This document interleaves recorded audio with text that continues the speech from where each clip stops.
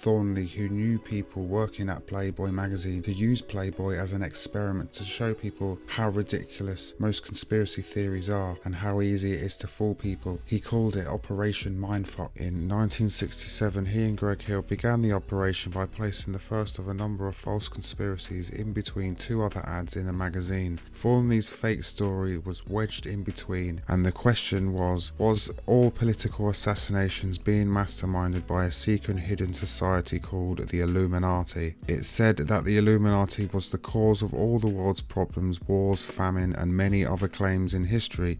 He and the other Discordians then began to spread this false information all across America through the counterculture, books, magazines, TV, music, and then this spread around the world into a massive culture. Thornley's aim was to spread such stupid information that people would see the absurdity of believing then, and he purposely chose the Illuminati for the experiment because he would believe that no one would believe an 18th century Illuminati from Bavaria, defunct, and then a very small order could be the secret leaders of a 20th century world. This operation worked in the 60s, 70s, and 80s, but with the advent of the internet, people's lack of real research, and the KGB's and CIA's false information still spreading around the world and poisoning the next generations coming up, there is a growing number of people still spreading, profiteering from, and regurgitating this information, which was false back in the 1960s on purpose.